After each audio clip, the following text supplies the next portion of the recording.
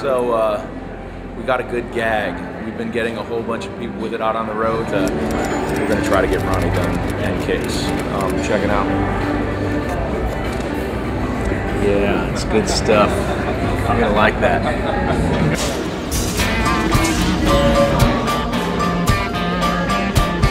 Connecticut tonight. Um, we're in um, Uncasville, Connecticut. Beautiful place. I mean, you're not seeing the best of it.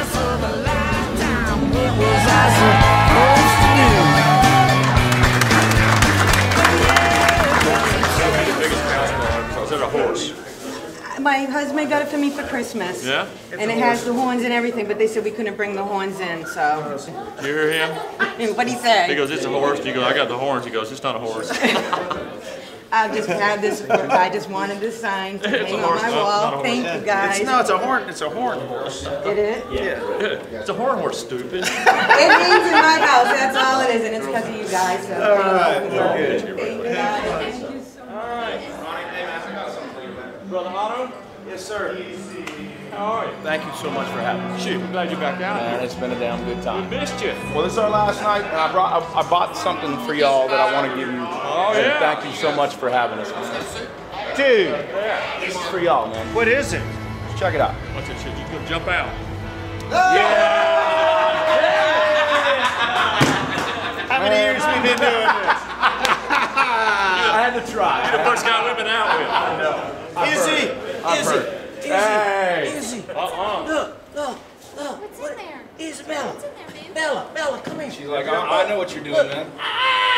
She loves it. Get it. Get it. Get it. It's just like Elmo. I mean, Otto's a big guy. I mean, he is a big guy. He's a full-size hillbilly singer, y'all.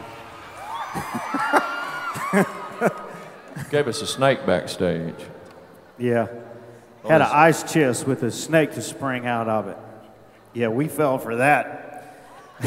17 years on the road, an ice chest that says open please, probably not. With a rubber snake. So, a less than desirable result. Um, I was found out first off. I was had, and I I've heard about what happened to Jo Dee Messina when she filled their bus with balloons. So I'm a little worried about snakes on my bus now. Thanks, Tyler and Baja. Appreciate it, guys. Thanks for asking me to do that.